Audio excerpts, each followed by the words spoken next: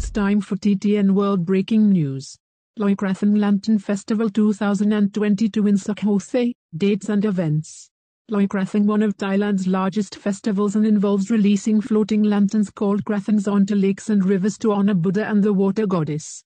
Sukhothai is one of the best places to experience the festival because it is the birthplace of the festival and holds the largest celebration, lasting for a number of days and nights. When is Loy Krathong 2022 in Sukhothai? The standard calendar date of Loy Krathong is not fixed as it depends on the Thai lunar calendar, but it usually falls in November. This year, the actual date of Loy Krathong is the 9th of November, 2022, but it will be celebrated in Sukhothai for over 10 days, from the 29th of October to the 9th of November. Sukhothai usually starts its celebration several days before the actual day of the festival, so that, after attending Loy Krathong in Sukhothai, you have a chance to go to Chiang Mai's Yipeng Festival, another famous Thailand lantern festival with flying lanterns on the 8th of November and 9th for reasons to celebrate Loy Krathong in Sukhothai. There are plenty of reasons why you should visit Sukhothai. During Loy Krathong 1. Sukhothai holds the biggest celebration of Loy Krathong festival in Thailand, with rich events usually lasting for 10 days. 2. You get the most authentic Loy Krathong experience. Sukhothai is where locals are seen more than foreign visitors, and therefore you'd be experiencing more authentic Thainess and bigger touristy cities can offer. 3.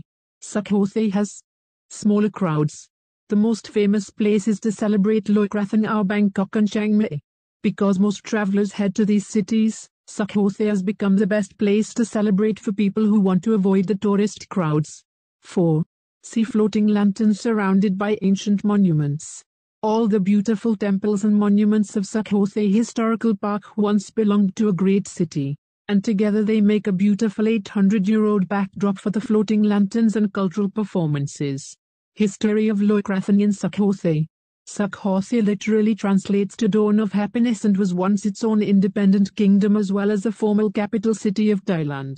Sukhothai was established in the year 1238 and for a long time was a wealthy and thriving region.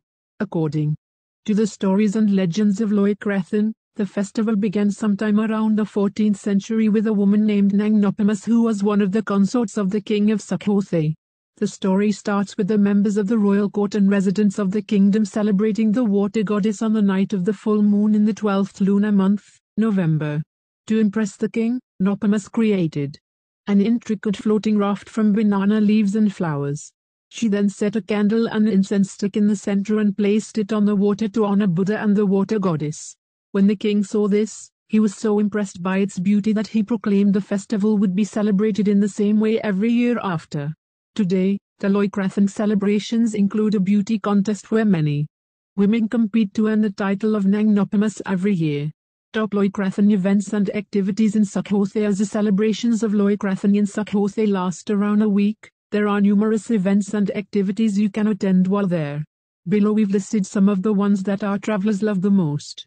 The Loy Krathong events usually take place over five days and nights with several activities, most of which take place in Sukhothai's historical park, the Old City. Highlights of the celebration include floating of the traditional lanterns, fireworks, folk dancing, and a spectacular light and sound show. 1. Enjoy the light and sound show. The light and sound show is a highlight of Sukhothai's Loy Krathong celebrations. It takes place in front of the beautiful Mahathat Temple courtyard. Over 300 talented actors and dancers perform a show based on the history of Sukhothai and the legend of Loy Krathong. The show entirely lights up the historical park with its use of projection mapping onto the historical architecture. The performance is in Thai, but foreigners are given access to an English audio version. At the end of the show, the night sky is lit up with an impressive firework show that illuminates the beautiful ruins in bursts of light. If you want to see the show, Tickets are 500 baht. You can purchase them from either the Sukhothai tourist office or from the ticket booth at the park entrance. 2. Join in the parade. Another highlight of the festival is the long parade. You will see people from all the different districts of Sukhothai province in their traditional attire, dancers, musicians, historical figures, the contestants of the beauty contest, lanterns, and krathongs. It is a great way to experience Thai culture. 3. See a variety of contests. Another part of the festival are the contests, beauty contests, singing and dancing contests, and also a contest for the best krathongs, floating lanterns. 4. Enjoy plenty of live performances. There are many live performances around the park. There are several stages for live music, traditional Thai dance, Muay Thai, traditional Thai puppet shows, fur house, juggling, fire eating, etc. 5. Explore Sukhothai Village Market You can explore the Sukhothai Village Market in the park. It is an ancient Thai market set, which would take you back to the old days of the first Thai kingdom, 700 years ago. Quality crafted products and fabrics are put up for sale. 6. Make and release your krathong One of the best ways to get involved in the celebrations of Loy Krathong and really put your own touch on the ceremony is to make your own floating lantern. During a krathong making class, you can learn how to fold the banana leaves to make a beautiful lotus-shaped krathong. You can also buy handmade krathongs, between around 10 baht and 300 baht. After the light and sound show on the evening of Loy Krathong, you can head to one of the many lakes and ponds inside the Sukhothai Historical Park to release your floating lantern. Releasing a floating lantern is meant to symbolize releasing all of the negative energy you've gathered over the previous year. Tati. People also believe that Krathongs honor the Buddha and the water goddess. Typical day-by-day -day event schedule.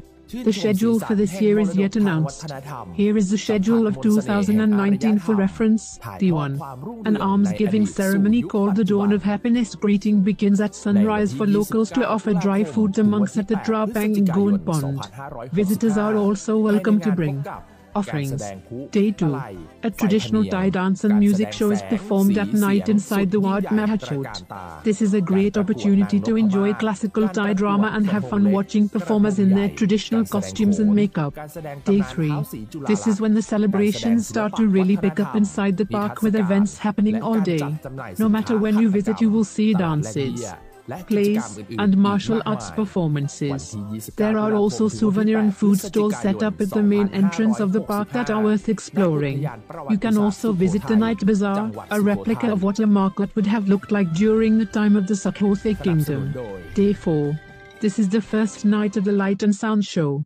Head into the Sukhothai Historical Park to enjoy the intricate dances and performances that will tell the story of Loy Krathong in the history of the Sukhothai kingdom. After the show is over, enjoy the impressive fireworks display. Day 5 Loy Day. This is the busiest day of events and normally falls on the actual day of Loy This day is full of parades, processions, festival activities, a light and sound show, and a large fireworks show. This is also the main day for releasing krathongs inside the historical park. Where to stay in Sukhothai. During Loy accommodation can be both hard to find and expensive in Sukhothai. Hotel prices may go up to two to three times the usual. You are recommended to book your accommodation well in advance, especially if you intend to stay in Old Sukhothai near Historical Park. It is worth booking a hotel near the park so that you don't have to endure traffic. Getting to and from Sukhothai. Located approximately halfway between Bangkok and Chiang Mai, Sukhothai is about 425 kilometers, 264 miles, north of Bangkok, and 300 kilometers, 186 miles, south of Chiang Mai. There are several ways to get there. You can fly direct from Bangkok with Bangkok Airways in around an hour. It is the fastest option, yet also the most expensive. You can also take a long distance bus from Bangkok or Chiang Mai, which requires 5 to 7 one half hours. There is no train station in Sukhothai. It is possible to take a train to Phitsanulok, which is approximately 70 kilometers from Sukhothai, and then a bus onward to Sukhothai. The most convenient way is to book a private tour with a private transfer. Contact us if you need any suggestions or assistance. Experience Loy Krathong Festival in Sukhothai. We have especially designed several tours including Loy Krathong Festival. Click the following tours for inspiration or tell us your requirements and we can tailor make a tour for you. Please like, share, subscribe, YouTube channel, TTN World. And don't miss for more latest news.